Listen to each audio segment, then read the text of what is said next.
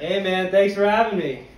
Small place. I'm privileged, not afraid to admit that. Brave of me. It's like, yes, my dad is Merlin, but I'm not defined by that, you know? Gandalf is a family friend, the nicest guy. Still so real, even after all that Hobbit bullshit. Nice owl. Started one for sure. Fuck, dude, should we ball out tonight and get some crystals that let you see the future? I am not recommending people to sorcerer jobs because they're white. You'd be my friend if I didn't have all these newts, right? I'm recommending my friends to jobs and I only have white friends. So, asio my explanation. You've never ridden a dragon before?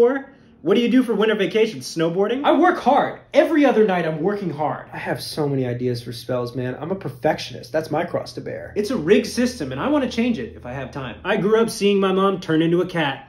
You look at that and you go, oh, this could be a job. LA's food scene is so much better than New York's. Have you been to Friedman's? I get it, man. It's a messed up industry of magic. If I don't deserve success, could I do this? Hey, Dad, can you look at my packet for creature school?